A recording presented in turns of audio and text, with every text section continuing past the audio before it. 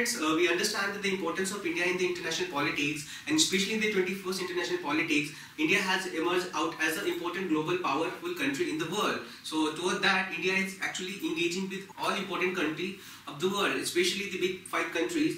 And in that context, India has started a very new format that is called 2 plus 2 dialogue. So it is a strategic format.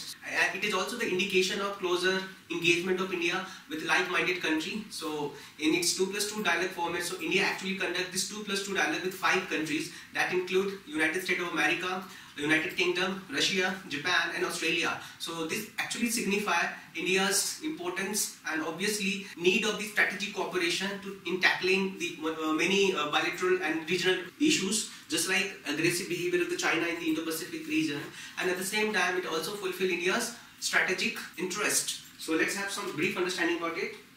So five countries that engage under this 2 plus 2 dialogue with India include US, Australia, Japan, Russia and United Kingdom.